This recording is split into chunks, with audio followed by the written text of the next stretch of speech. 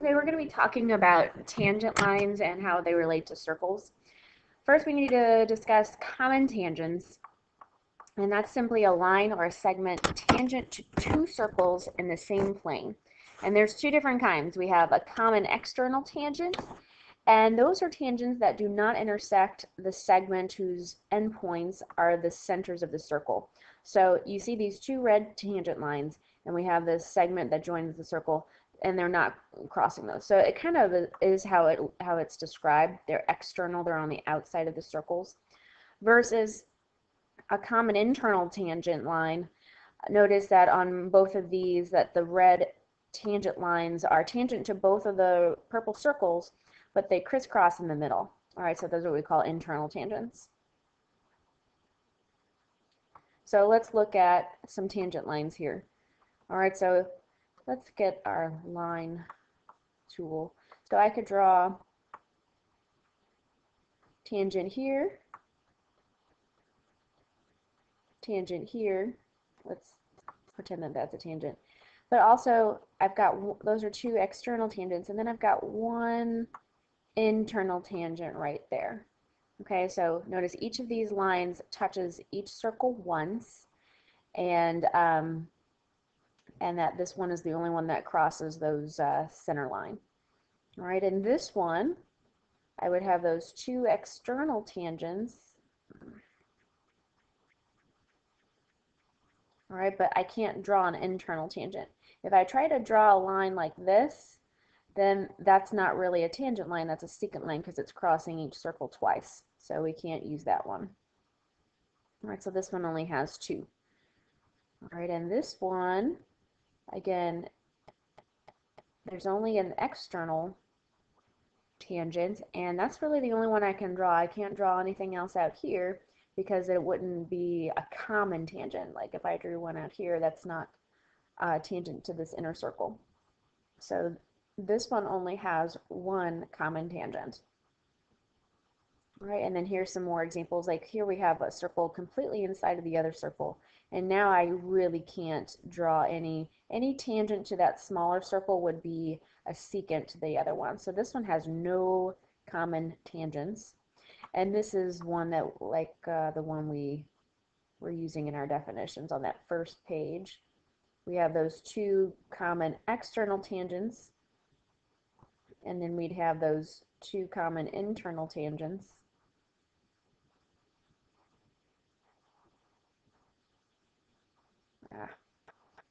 Those aren't very good, drawn very well.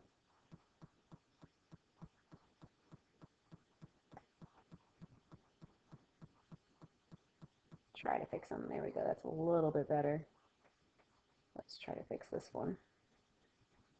There we go. So that looks a little bit better. All right, so here we've got four common tangents going on in that picture. All right, so those are common tangents. Now what we're going to do is I'm going to go to the uh, Nspire CX, and I'm going to use the software on my computer. And I'm going to show you just, we're going to discover some things about tangents in a circle. So if we look at this, here is a secant line, and we know it's a secant line because it has these two intersection points, B, B and P. And no matter where I put this C, I'm going to move this all around um, as no matter where I move that line, it's still a secant line. The only time it becomes a tangent is when B and P are on the same exact thing. So I don't know if you notice this, that all of a sudden this angle right here became 90 degrees. Do you see that? So if I keep it a secant, those can be very different angles. Notice that AB is a radius. And as long as it's a secant, it can be all those different kinds of angles. But the minute I make it a tangent, it becomes 90 degrees. So you can see that here, this line is constructed to stay a tangent, and no matter where I put that tangent, that angle stays 90 degrees to the radius. Okay, so that's the next thing we need to write in our notes, is that if we have a line tangent to a circle, um, it has to be perpendicular to the radius of the circle at the end point here, at point P. Okay, so make sure if you need to pause that to write that down, please do so. So let's use this for some examples. It's very, very useful theorem because now I know if this is a tangent, TS is a tangent line, RS is a radius, and then according to our theorem that we just talked about, this has to be a right angle. So then if I wanted to find, um, see if this was indeed a right angle, then I could do Pythagorean theorem. So is 5 squared plus 12 squared. Now, this might be hard to see in this diagram, but 8 is only referring from here to here. And keep in mind, this is 5, right? So this whole distance right here has to be 13.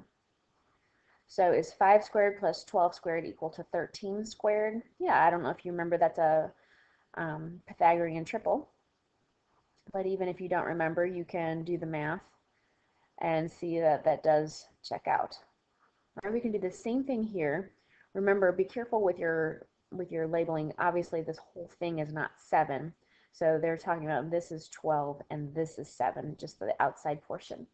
So if we want to figure out if that is tangent, then that has to be a right angle.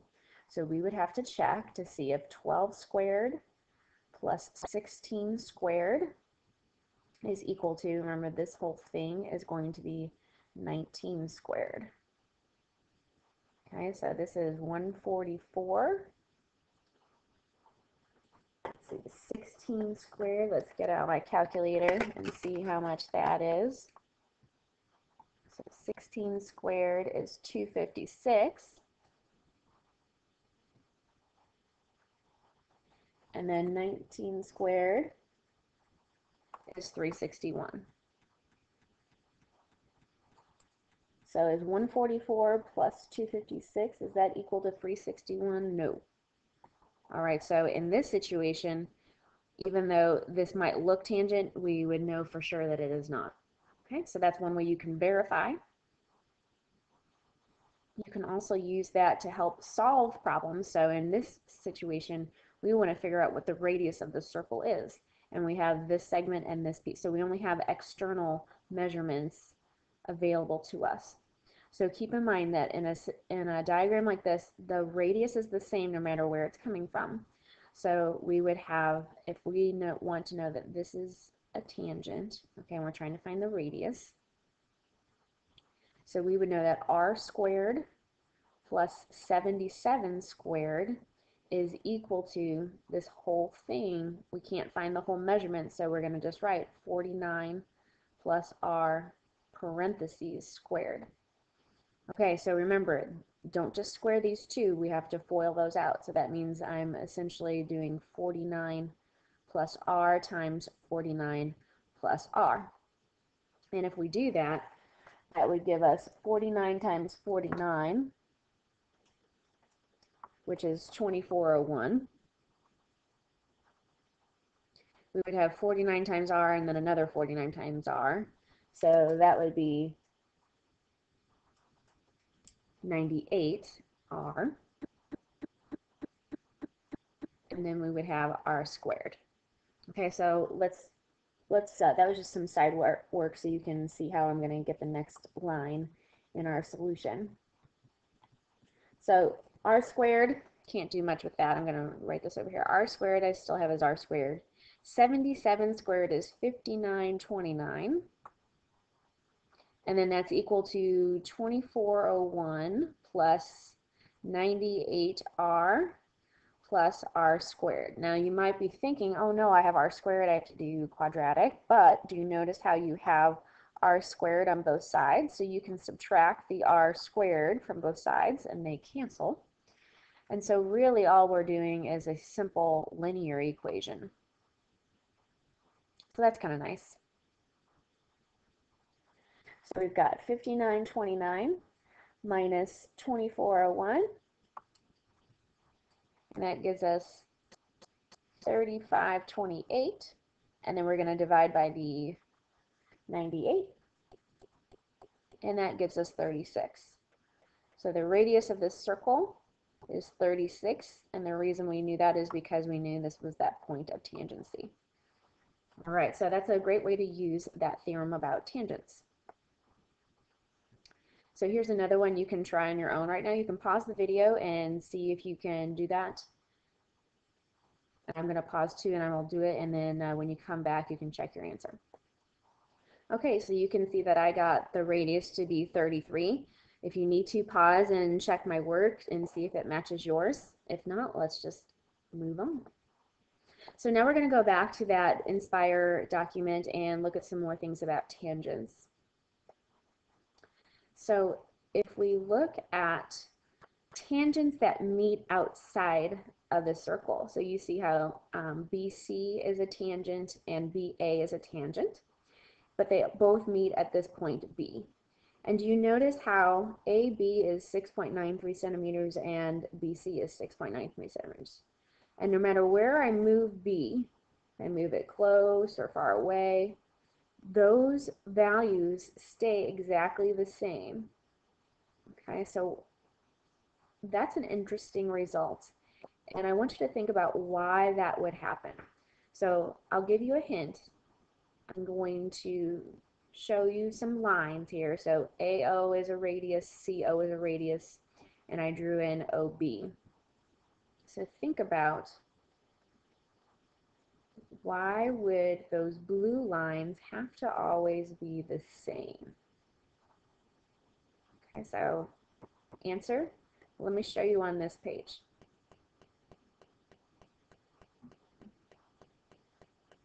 So we've got the same, same kind of diagram, and I have OA and uh, OC, those are both radii.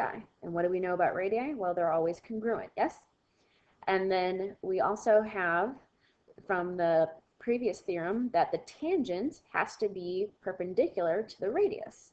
So these are both perpendicular and those are both congruent. Then if I draw an OB, notice that I have now created two right triangles. And in these right triangles, I have this side or the leg is congruent and then OB is reflect is reflexive, so it's congruent to itself, and that's the hypotenuse. So really we're using hypotenuse leg to show that this triangle is congruent. Watch this. We're going to flip this over. So imagine that that triangle is 3D and flipping over and laying on top of the other one. So those two triangles are both congruent by HL, which means by CPCTC, those two blue tangent lines have to be congruent. So let's write that in our notes then, that if we have tangents, tangent segments from a common external point, so that's, that's the kicker here, they have to come from the same point, that we know that they are congruent.